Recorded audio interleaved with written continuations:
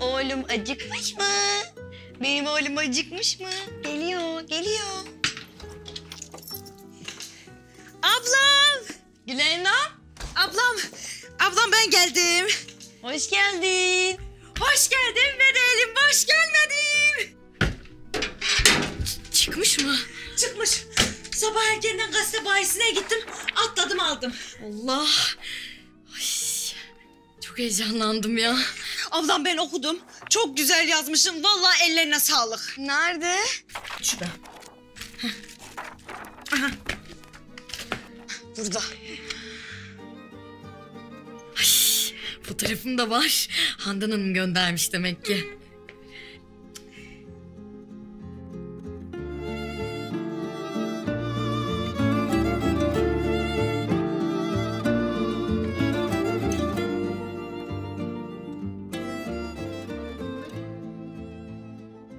Ablam, ben sana demedim mi iyiler her zaman kazanır?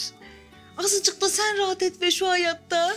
Ay böyle deme Gülendam ya korkuyorum. Hani böyle her iyi şeyin sonunda böyle bir kötü bir şey olur ya rüyadan uyanırsın falan. Yok Allah korusun hiçbir şeycik olmaz, hiçbir şey olmaz ablam. Gel sana Ayşegül çay evinden bir çay koyayım. Olur. İlk yazımın şerefine. İso'yu alayım. İso! Aman aman aman aman aman aman aman.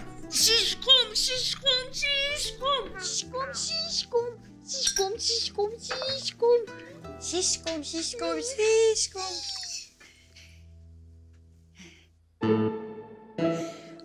Ablam ben bugün bu boruyu Ay değiştireceğim. saçmalama Gülendam.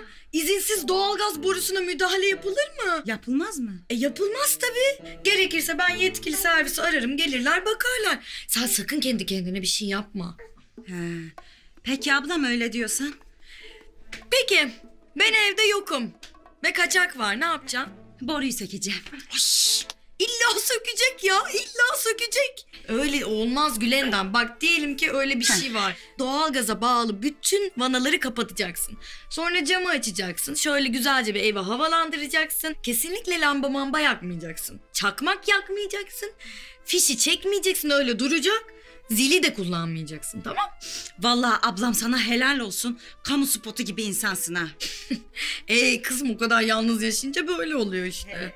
E artık Can abim yapar. Boruları söker, takar, gelir. Şunlar şımarma ya. He, o zaman ben bir bardak çıkarayım. Ah, hadi çıkar. Haydi. Haydi.